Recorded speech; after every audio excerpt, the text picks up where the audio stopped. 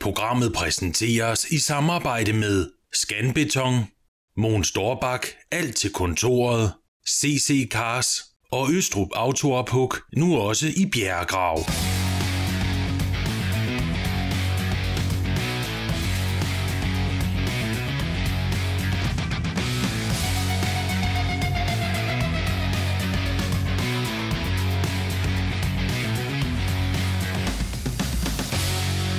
Jeg hedder Ulrik Lindemann. Jeg øh, bor i Suldrup i Nordjylland.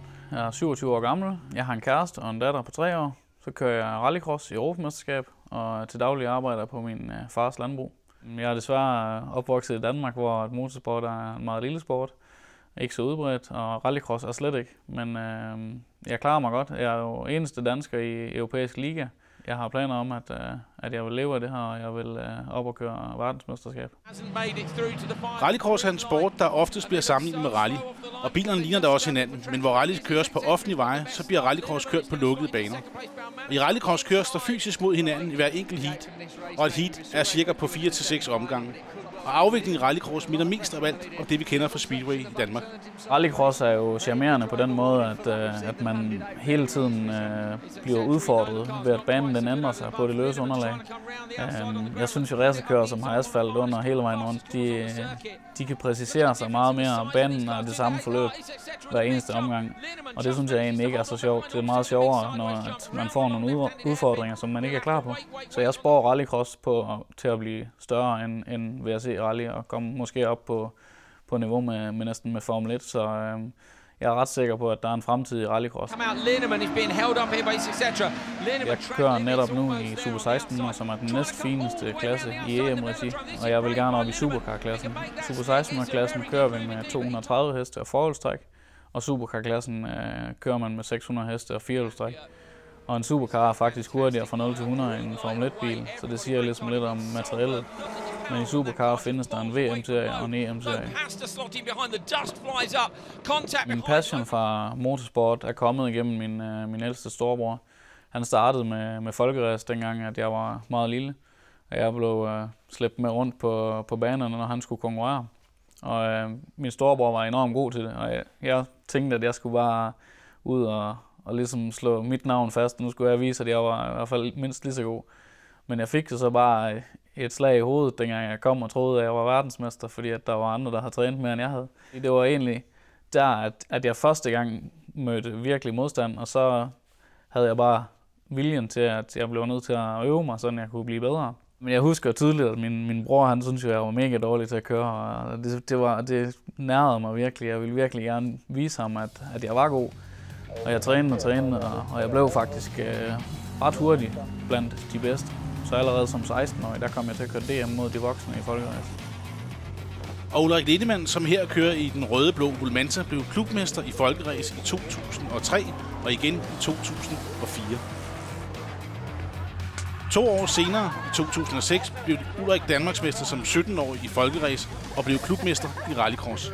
Det var meget fedt at slå de der som var halvgavet i folkeræs, og som måske havde deres eget værksted og, og satte biler sammen selv, øh, hvor jeg kom med en hjemmebygget folkeræs og, og, og ikke engang var helt som mekaniker endnu. Jamen, jeg brugte øh, alt min fritid øh, på, på folkeræs på det tidspunkt. Jeg, øh, jeg, jeg gik jo i skole og, og kom i lære som mekaniker til slut, øh, men alt min fritid, øh, hver gang når mine kammerater de var til fest, så lagde jeg skruet i en eller anden gammel bil. Og i slutningen af 2006 valgte Ulrik for første gang at prøve kræfter med klassen højere op. Nu var det tid til rallycross. Jeg købte en, en tidligere øh, konkurrencedygtig bil til en gruppe N-klasse, hvor bilerne er meget lige og meget standard. Øhm, og jeg blev faktisk klubmester i den bil allerede første gang, jeg, jeg stillede op i den. Så, så det, det var meget god debut i rallycross, må man sige. Fra folkeræs til rallycross, der skifter farten meget. Øh, folkeræs er man max op og kører omkring 80 km i timen. Og i rallycross, der er man øh, langt til langt over 100, så øh, det var egentlig en stor forandring, men, men den store erfaring, jeg havde i folkeræs, gjorde, at jeg, at jeg slog mig fast allerede med det samme, at jeg kom i en rallycross-bil. Og i 2007 var det så tid til Ulrik til en fuld DM-sæson i rallycross i Danmark. Jeg vandt det første løb, og jeg førte hele sæsonen øhm, indtil det næste sidste løb, der gik min gearkasse i, i min øh, fine Suzuki Swift her. Øhm, og så tabte jeg hele mit forspring og førte kun med to point. Og så blev jeg selvfølgelig øh, slået til den sidste afdeling, så jeg tabte mesterskabet med et point bare. Det var en hård afslutning på en, en sæson, hvor jeg egentlig havde været stort set suveræn. Men det gav, det gav blod på tanden til, at jeg skulle køre international rallycross. Og i 2008 var Ulrik så klar til endnu større udfordringer. Nu var det tid til EM i rallycross.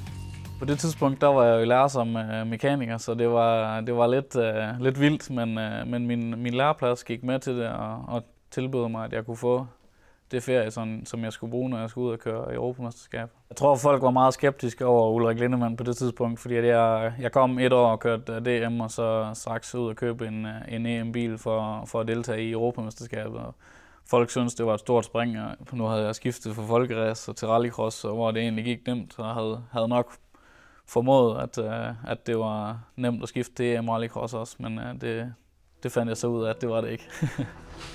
Men starten på 2008-sæsonen skulle vise sig at blive langt vanskeligere for Ulrik, end nogen havde kunne forudsige.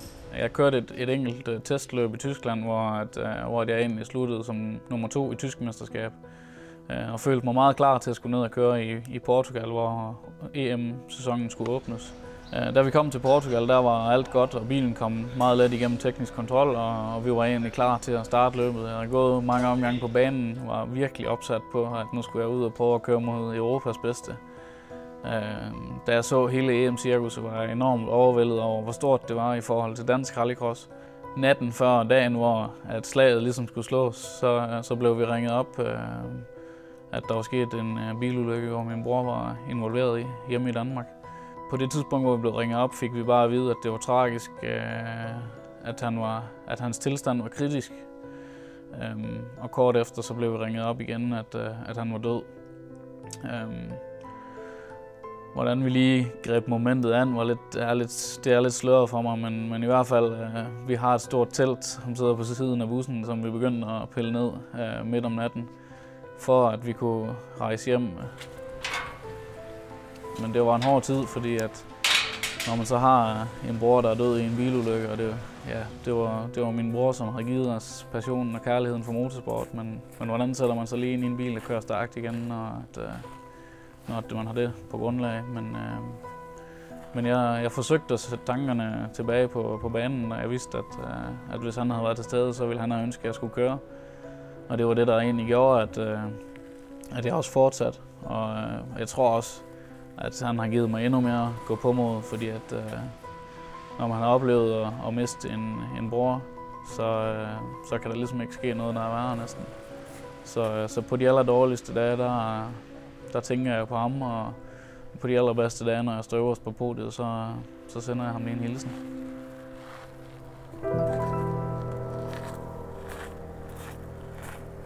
Vi blev egentlig enige om i familien, at, øh, at jeg skulle prøve igen, og at øh, vi skulle prøve at komme tilbage på, på sporet. Og allerede øh, få dage efter hans begravelse, der meldte jeg mig til et løb i Danmark, hvor, at, hvor at hele hans øh, vennekreds øh, stillet, stillet sig på ryggen og ligesom bakkede mig op. De, de sagde, at øh, nu skal du vinde for Stefan. Og det havde jeg enormt lyst til, og jeg ville, ville så gerne have præsteret den dag. Jeg ville ønske, at jeg kunne gøre det om, fordi at jeg ville gerne have gjort alle hans kammerater stolte, at de skulle have set, hvor meget hans øh, lillebror han egentlig kunne. Men, øh, men tankerne var slet ikke på plads, så jeg fungerede slet ikke i racerbilen. Jeg, kunne ikke, uh, jeg, kunne ikke, øh, jeg var slet ikke motiveret på opgaven. Jeg kunne ikke øh, klare det, køre af banen og så videre. Så ikke noget alvorligt, øh, men, men jeg kvalificerede mig i hvert fald ikke til finalen, så, så det var hårdt at komme i gang igen. Og efter nogle måneder, så, øh, så kom jeg så til start i en ny M-afdeling i Norge, hvor der var jeg motiveret på at, at klare opgaven. Og på trods af al modgangen i starten af 2008, havde Ulrik nu endnu mere mod på at komme videre med sporten. Jeg havde virkelig lyst til, at jeg skulle, at jeg skulle forbedre bilen, og så skulle jeg ud og vise uh, Europas elite, at, uh, at jeg har hørt til på, på de europæiske racerbaner. I 2009 var, var faktisk en fin uh, sæson. Uh, det var første gang, jeg kørte fuld EM. Uh, der var mange baner, der var nye for mig og så videre, og, og bilen fungerede ikke helt optimalt. Vi havde et, et uheld i det første løb, som, som faktisk kostede ret dyrt. Uh, allerede i den første træning var der, var der en konkurrent, der, der kørte af banen, sådan at han kom baglæns ud foran mig, og jeg smadrede bilen og, og røg faktisk på sygehuset, men, men havde heldigvis ikke uh, fået nogen men af, af uheldet. og vi kæmpede og kæmpede igennem natten for at få bilen klar til dagen efter, øh, hvor vi skulle køre de, de sidste kvalifikationsheat. Øhm, men, men bilen fungerede simpelthen ikke, øh, ikke ordentligt. Øhm, så kom vi igen, og, og jeg fik, jeg mener, jeg fik min bedste øh, slutplacering var, var nok nummer 6 eller sådan noget af den stil. Øh, 2009-sæsonen var meget sådan et læreår for mig i, i Europamesterskabet, men, men sluttede på en, en 10. plads. Øh, så det var egentlig ikke, øh, ikke så dårligt den der. 2010 var, var lidt en, øh, en, en sæson med, med op- og nedture. Jeg havde nogle motorhavarier gennem sæsonen, som kostede dyre EM-point.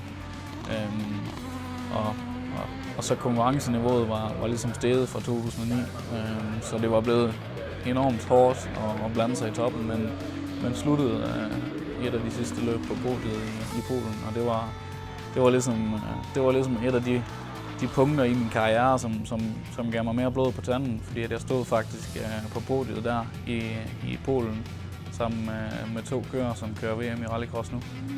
Og hjemme i Danmark blev det til en sejr til Ulrik på årets afdeling af Neskop, som blev kørt på Nysumbanen ved Hobro. Øh, efter sæsonen 2010, der, der, der så jeg sådan ligesom på min karriere og tænkte, at det skal være nu, eller så skal det ikke være. Så, øh, så allerede i, i det første løb i 2011 var jeg i finalen, og, og det var jeg næsten i alle løb igennem 2011-sæsonen. Min bedste placering blev en anden plads, men, øh, men øh, det blev jeg så også samlet set i hele mesterskabet, så det var, det var meget godt. Og det var ham, der blev europamester dengang, han blander sig i VM-toppen nu, så, så det var, selvom jeg tabte til ham dengang, så, så kan man, når man ser tilbage på det, så, så var det slet ikke så dårligt. Det er en ulige kamp for os, når vi kæmper med, med privat team og med, med lavt budget imod ja, ham, der blev europamester. Han betalte jo øh, over en million for at sidde i et fabriksteam, så, øh, så det sætter ligesom et perspektiv øh, til, at, øh, at vi konkurrerer mod nogen, som, som egentlig burde være, være umuligt at slå med vores øh, vilkår. Det viste sig jo virkelig, at, at nogle af de ting, vi havde lavet hjemme i værkstedet, det virkelig virkede. Så det er jo mega fedt, at, at jeg som, som racerkører, men også som, som hvad skal man sige, teamleder, har fået mine, øh, mine ulønnede og, og frivillige mekanikere til at hjælpe mig med at bygge en bil op, som egentlig blander sig i toppen af Europamesterskabet. Det er, det er jo lidt en præstation i sig selv. Men øh, så at få lov til at køre bilen også og, og, og putte den på toppen af ranglisten, det er sådan set rigtig fedt. Og nu havde konkurrenterne for alvor fået øje på det private team for Danmark. De sidste 10 års erfaringer skulle nu bruges til at komme et step op i sporten og til at være med blandt toppen. Og ved det tredje løb i 2012 af EM-serien, som blev kørt i Østrig, blev det til Ulrik Lindemanns første sejr i EM-sammenhæng nogensinde.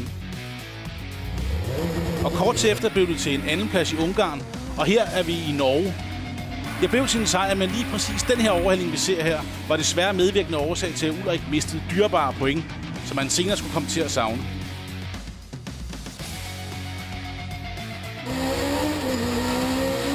Kort til efter var det så igen tur til Ulriks anden hjemmebane. Så var det tid til Høljes i Sverige, hvor Ulrik også løb afsted med sejren efter flot kørsel i alle indledende heat og ikke mindst i finalen.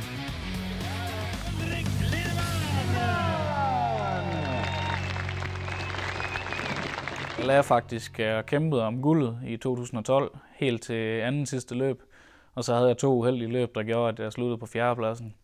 Men det ligger så tæt i Europamesterskabet, at, at, øh, at havde jeg haft tre point mere i mesterskabet der, så havde jeg været nummer to i stedet for nummer fire. Og det var egentlig lidt den samme historie igen i, i 2013. Det var også guldet, jeg kæmpede om, men så tabte jeg det, og så, og så en placering til. Øhm, men man tager nogle gange nogle chancer for at vinde nogen, og, og nogle gange så kan man desværre tabe ved at tage de chancer også. Og så til, til 2014-sæsonen, der byggede jeg en helt ny bil, som, som var planen, at den skulle være bedre end, øh, end min gamle.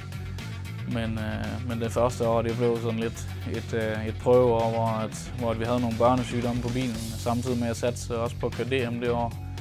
Og det kostede mange penge, fordi jeg fik så mange skader i det danske mesterskab, at, øh, at jeg måtte droppe det til slut og, og så koncentrere mig om EM. Hvor jeg desværre så sluttede som nummer 4 i det sidste løb. Jeg fik en, husker meget tydeligt, at jeg fik en kommentering, som, som gjorde, at, øh, at jeg endte nummer 4 i stedet for nummer 3 det år. Og det er klart, at, øh, at så stod jeg igen der, hvor at, at jeg var lige stykket fra toppen, hvor at, øh, jeg ikke var tilfreds med at være.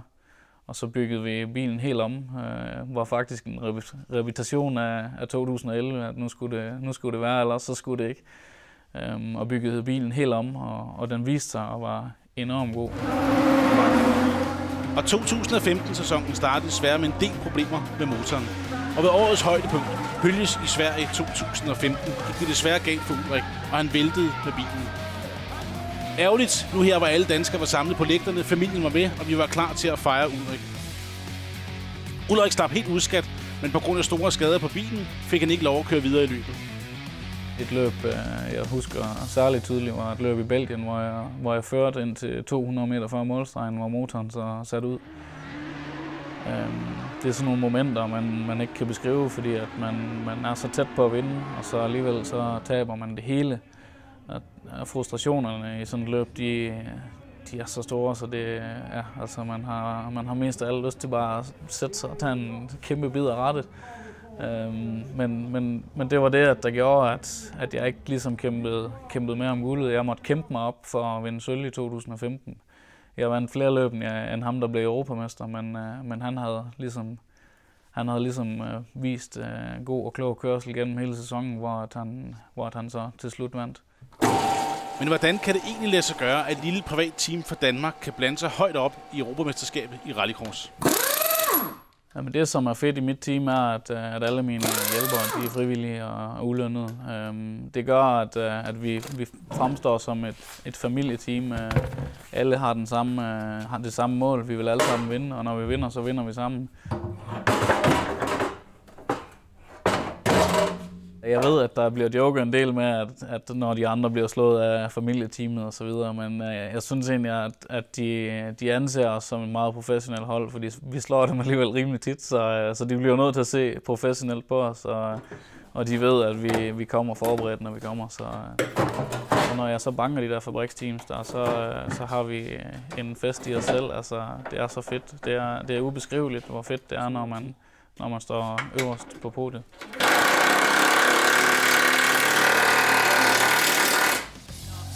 I 2013 kom der ny promotor til rallycross-sporten. IMG har overtaget, og siden da er sporten nærmest eksploderet. Og vi ser nu kendte kører som Peter Solberg, Ken Block og Sebastian Løb. Og vi ser også i dag Andreas Bakkerud, som har været en af Ulriks største konkurrenter tidligere. Flere fabriksteams, flere biler og endnu mere konkurrence til det danske team.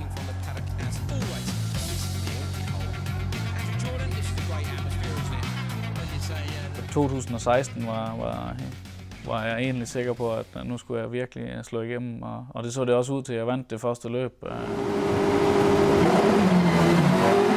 Anden afdeling af EM i år i England var, var, var jeg faktisk overlegen. Øh. Jeg vandt alle fire heats og holdt pole til semifinalen, men, øh, men i semifinalen der, der valgte vi en lidt forkert dækstrategi. Jeg satte nogle brugte dæk bagpå for at spare dem til, til finalen, som jeg var sikker på, at jeg skulle i.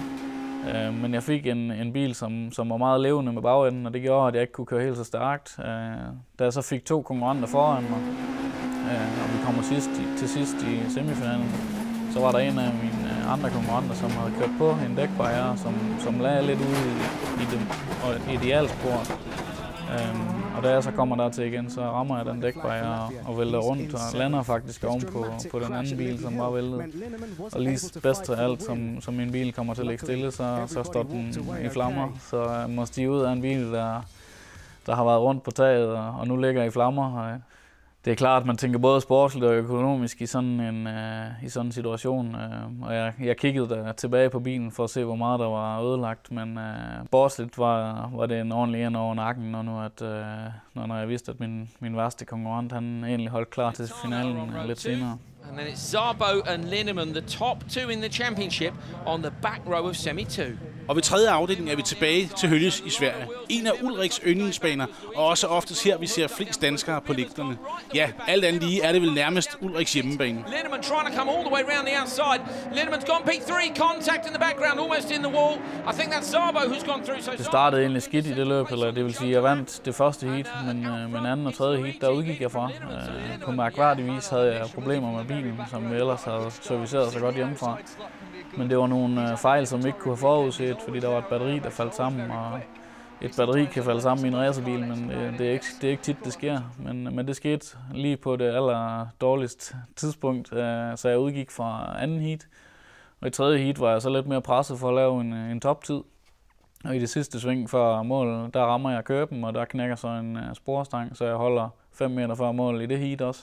Så går vi så over til, til søndagen, hvor går i seng øh, lørdag aften øh, næsten 0 niks. Øh, ved, at jeg skal præstere øh, det ultimative søndag, for at jeg kan kæmpe mig bare op i semifinalen. Jeg vinder så det sidste heat og kommer med som sidste mand til semifinalen. Og i semifinalen, selvom jeg starter allerbagerst, så kæmper jeg mig op og vinder semifinalen. Jeg vinder også finalen senere.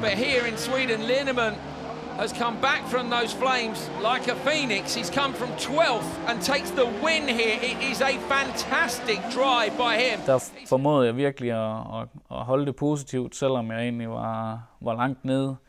Og, og så kæmpede mig tilbage. Det er der ikke mange øh, andre kører, der har de færdigheder, at de ligesom kan, at de kan holde uh, momentet, selvom at man egentlig ligger til at blive 0 og niks. Så, øh, så det var meget cool at, at komme tilbage der. Og sommerpausen blev brugt på værkstedet. Her skulle bilen optimeres, så den var fuldstændig klar til anden halvdel af sæsonen.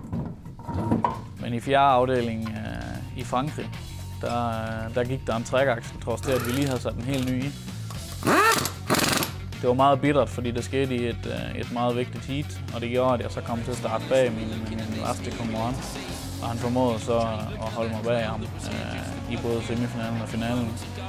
Øh, og der tog han så føringen tilbage i, i mesterskabet. Men, øh, men den fik jeg så kæmpet tilbage til mig i Spanien, hvor jeg havde en, øh, en weekend, hvor vi kørte helt uden problemer. Jeg vandt alle heat, og jeg vandt semifinal og finale. Så jeg var egentlig meget sulten på, at jeg bare skulle have lukket øh, Europamesterskabet i Tyskland. Øh, jeg havde et forspring på 6 point, hvilket er ret meget, hvis at vi kører uden problemer. Men øh, i Tyskland startede det også øh, perfekt ud, og jeg var, var også foran ham hele løbet ind til, ind til sidste heat, hvor der så igen gik en trækaksel. Og det vendte lige, øh, det vendte lige hele perspektivet på det løb, øh, og jeg kom til at starte bagved ham i semifinalen. Og jeg var klar over, at øh, hvis jeg holdt mig lige bag ham i både semifinal og finale, så ville jeg vinde over ham i, i det samlede mesterskab. Så det var egentlig den opgave, jeg gik ind til semifinalen med. Øh, og jeg blev to år efter ham i semifinalen. Og i finalen, der, der skulle han vinde, og jeg skulle blive dårligere end nummer to, for at, at han vandt mesterskabet. Men, øh, men, men i starten af, af, af finalen, der, øh, der har han en, øh, en teamkammerat, som, øh, som holder mig tilbage, så alle andre konkurrenter i finalen, de kører udenom mig. Så, øh, så må kæmpe mig fra 6 og så, og så op, hvor jeg ved, at, at, at det her det, det kommer ikke til at gå godt. Jeg kæmpede mig op som nummer 3, det var lige præcis et point fra være nok. Så på trods af endnu en sæson helt i toppen af europæisk rallycross, slutter Ulrik altså på en samlet andenplads.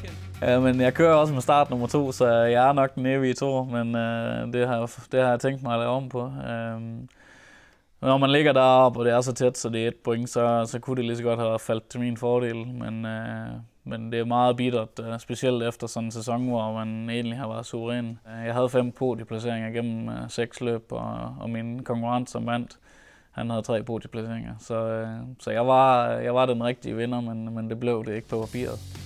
Men 2016 var også året, hvor Ulrik Lindemann kastede sig ud i helt nye udfordringer.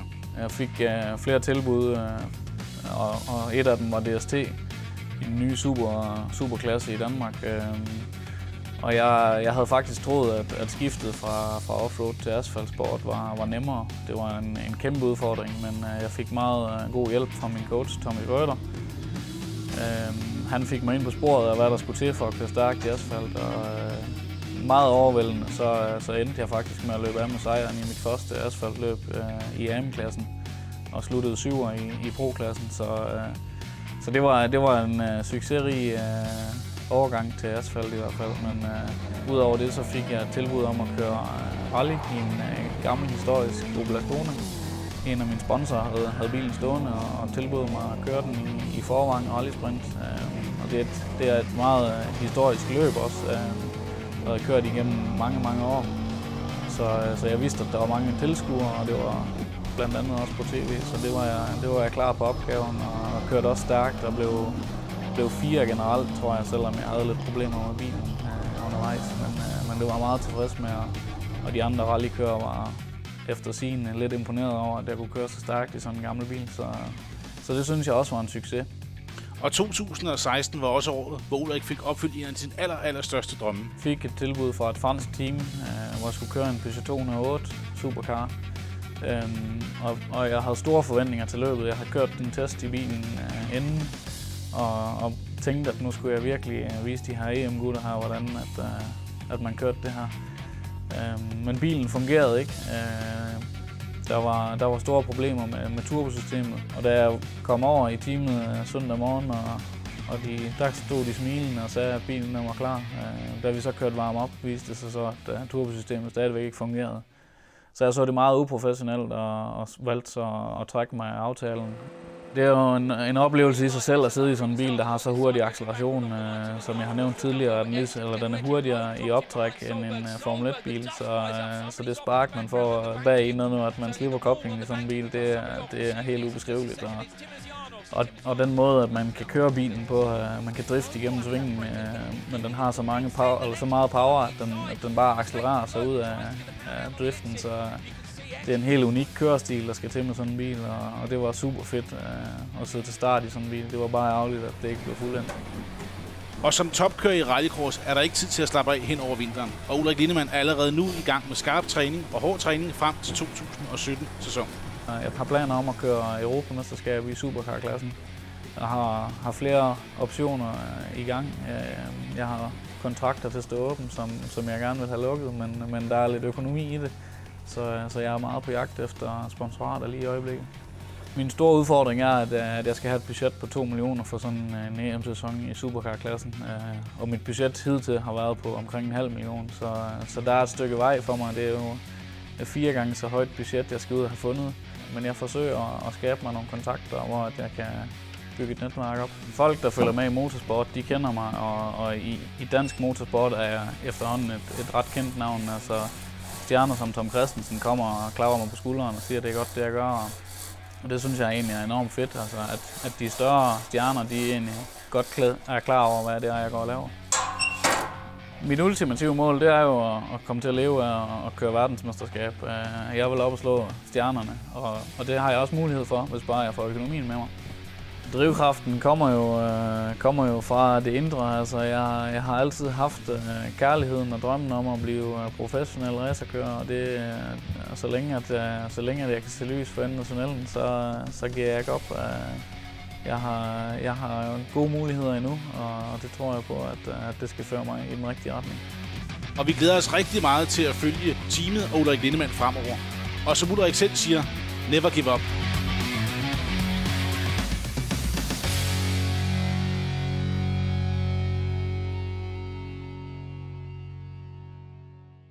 Programmet præsenteres i samarbejde med Scanbeton, Mon Storbak, alt til kontoret, CC Cars og Østrup Autoophug, nu også i Bjerregrav.